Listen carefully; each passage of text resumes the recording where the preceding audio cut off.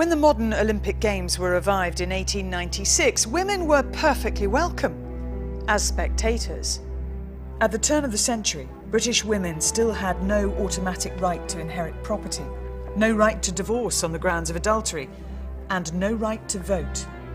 But on the playing fields of Victorian England, the game was on, and the goal was equality. There were schools like Roedean, Cheltenham Ladies College, the North London Collegiate. They wanted to play games like their brothers. The girls played hockey, lacrosse, cricket, and because the pioneering headmistress of the time introduced games to the curriculum, they really contributed to young women taking part in the Olympic Games today. As these girls became women in the late 1890s, they formed societies like the Ladies Golf Union and the Hockey Association of Scotland. Women were playing sport in public. The corset was being loosened. And in the Paris Games of 1900, for the very first time, they had a chance to shine. Admittedly, only 2% of the total entrants were women, and they were only allowed to compete in golf and tennis. But the point was made. Women were beginning to make more demands, both in the political arena, they were, they were fighting for the vote, and I think the last bastion was to be accepted in the, in, in the world of sport they weren't going to be invited in by the IOC, so they had to push their way forward. The progressive trickle of Paris showed little sign of becoming a flood. In St. Louis in 1904, just six women competed, and it wasn't until 1912 that any female swimming events were introduced. It would take a truly seismic event to rock the sporting establishment and the world at large. The eruption of World War in 1914 proved a catalyst for social change. In England, millions of women were drafted into the workforce, from the civil service to agriculture and even shipbuilding. In a state of emergency, women had earned a new role in society and sport was at the heart of the action. Between 1918 and 1939, more than 150 women's football teams were formed in Britain, some attracting massive popular support. The Great Dick Kerr's ladies football team was watched by thousands and thousands of people on, on FA, on Football Association uh, grounds. Women were doing more athletics and uh, swimming and, and all sports. Things had changed irrevocably and I think it was no way back after that. But the participation of women at the Olympics, that was still a rarity. Just 65 of the 2,626 competitors in the post-war Antwerp Games were women. You know, the Olympic movement over the years has usually been forced to change. In the 20s in particular, women were looking for emancipation across the board. Um, but I think the Olympic movement wasn't quite ready for it yet. Less than a month after British women finally gained voting equality, the 1928 Amsterdam Olympic Games began featuring for the very first time five women's athletics disciplines. 16 year old Betty Robinson won the 100 metres to become the first female Olympic track champion. Meanwhile, the 800 metres final got underway in the heat of the Dutch summer. The record shows that Germany's Lina Radke won the gold medal, but the focus of many was elsewhere. The Daily Mail said there were sobbing girls, all the women collapsed, uh, and, and it was a terrible sight, but it's just not true. This was the testimony of one finalist, American Florence McDonald. I think the girls that won the race did okay. But this collapsing business, that was a lot of nonsense. Sport was controlled by men, and it was controlled by men of certain parts of society. And the reaction to seeing women out in the sporting arena was um, this isn't ladylike. And it was, it was much more about that than it was about um, worrying about their health. I think that was a red herring, if you like. The IOC decreed that women could not or should not run such distances. They were banned from competing beyond 200 metres until the Rome Olympics of 1960. The Olympic superstars of the 1930s were lauded for their physicality and achievements rather than their novelty. And the Americans were setting the pace. There was a double gold medalist, Mildred Didrikson, an imperious presence on the track. Helene Madison, the first woman to swim the 100 yard freestyle in under a minute, and the supreme Helen Stephens, never beaten over any sprint distance. And then in 1939, the world went dark again. The Second World War not only changed the course of history, but also the course of women's lives. In emergency, they had led the way, and post war, they wanted to maintain the sense of responsibility. And in 1948, a 30 year old mother of two from Utrecht came to embody that ethos. Fanny Blankers Koen had spent the Second World War in Nazi occupied Holland, breaking six track world records between 1942 and 1944. But her arrival at the London Games had a mixed response. She was criticised and uh, received letters from people saying she should not leave her children, she should be home looking after them. She had a hard time in being accepted as equal. The critics soon revised their views as the so called flying housewife stormed to gold in four of the nine women's events. Once more, Blankers Koen comes through in sensational style. And there was one last surprise for the naysayers. When her third child was born in 1949, it became clear that Blankers Koen had competed in London while pregnant. 1940s austerity gave way to 1950s prosperity, and things were changing for Western women. In America, 35% of adult females were in employment by 1956, and that was also the year of the first ever Australian Olympics, where in Melbourne they celebrated the free spirited Dawn Fraser. Uh, speak out my mind. I'm not afraid to say that I don't like something. I don't do anything that I don't want to do. The working class Fraser proved that sport could be for all. Governing bodies, institutions, management, well, that was different.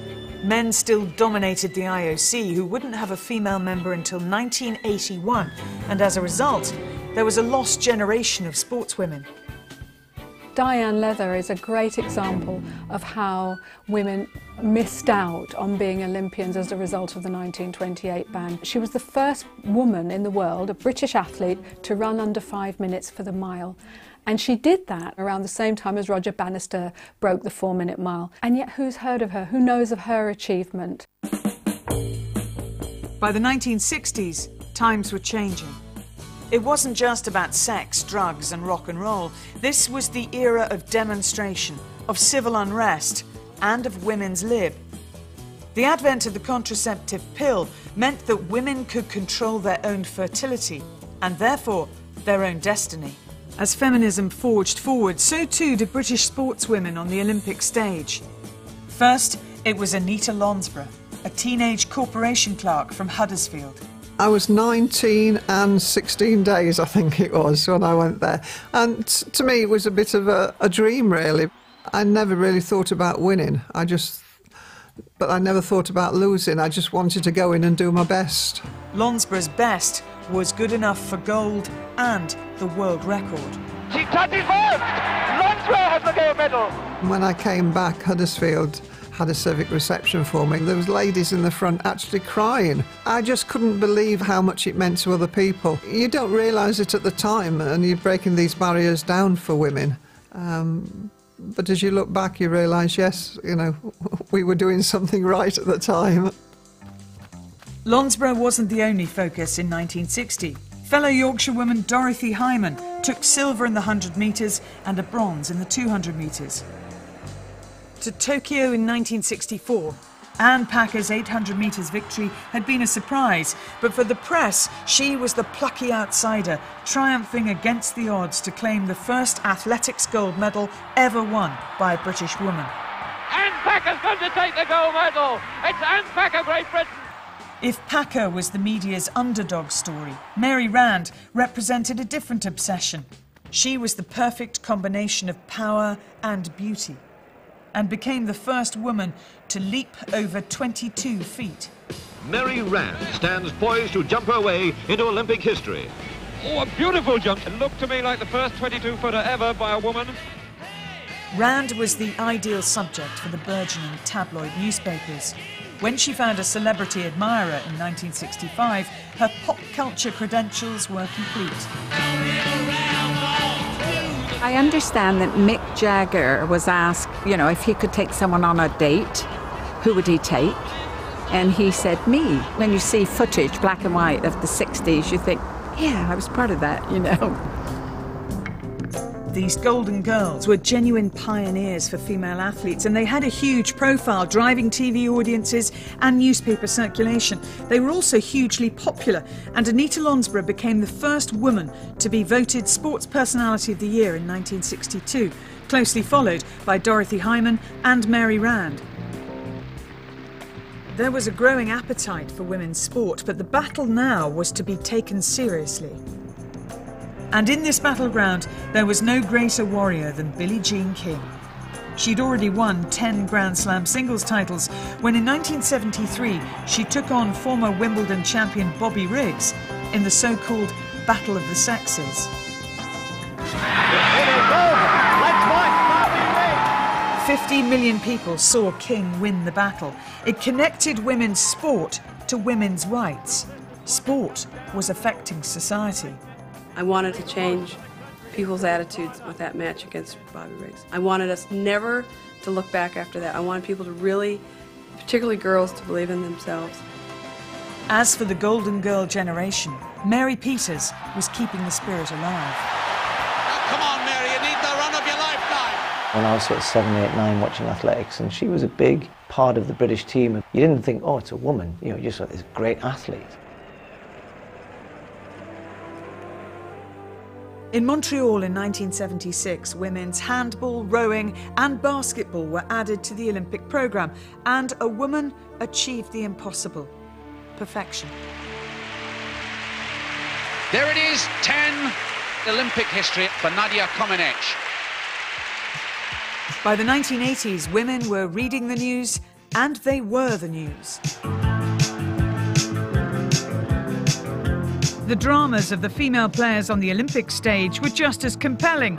The rivalry of Fatima Whitbread and Tessa Sanderson, the acrimony of Zola Budd and Mary Decker, and the incredible exploits of Florence Griffiths Joyner.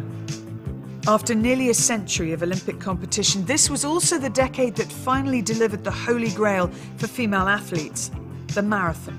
By then, you already had great marathon runners kicking around. And Grete Waitz was the person who'd been leading the way, if you like. And it wasn't as though they could argue, oh, the standard isn't very good yet. The standard was very, very good.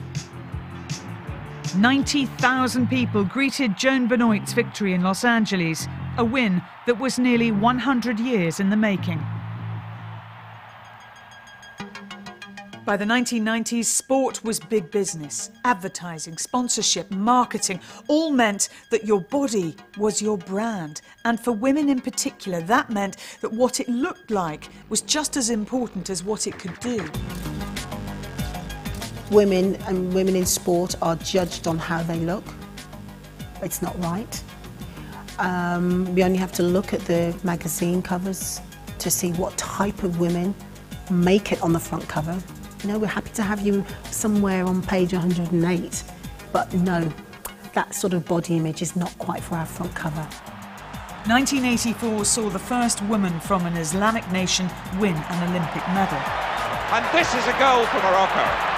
El Moutawakel wins. Since then, there has been slow evolution rather than rapid revolution. The inclusion of female athletes from Saudi Arabia, Brunei, and Qatar for the very first time in London is a positive step. But several Muslim countries still repress sporting participation for women at home.